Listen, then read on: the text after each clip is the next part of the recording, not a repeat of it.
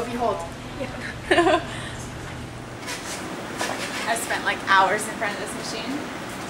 These are my pretty little results. I enjoy anything that's hands-on. Like I didn't mind testing expression. I didn't mind running gels. I like all the bench work type of stuff.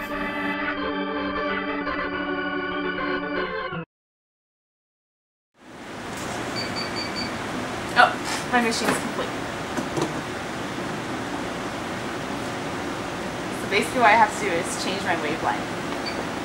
Enterobacter sakazakii is a level 2 pathogen that causes neonatal meningitis and it's found in contaminated milk powder.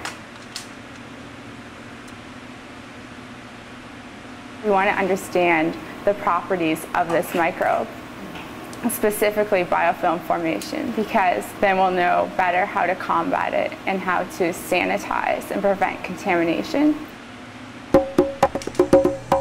This is our DNA prep room, and then this is strictly devoted to DNA prep. And then you go to the next room, and it's like PCR. And then you go to the next room, and it's electrophoresis. So it's all streamlined. So basically, you start from like, I'm here, and you go all the way to the here. So you basically your sample all the way down, which is pretty cool.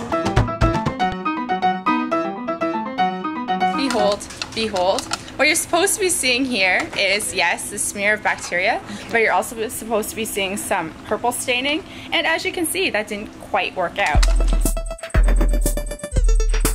I basically grew up on the Guelph campus. Pretty comfortable with having my dad around. I mean, I work on the fourth floor. He works on the fourth floor. I have him in lab. Your microscope's in the wrong setting. Hi, Dad. Hi. Watch out. You're getting uh Hi, Sylvie. Hey. It's like being a daughter of like a mini underground celebrity or something. I'm definitely noted in my micro classes and stuff.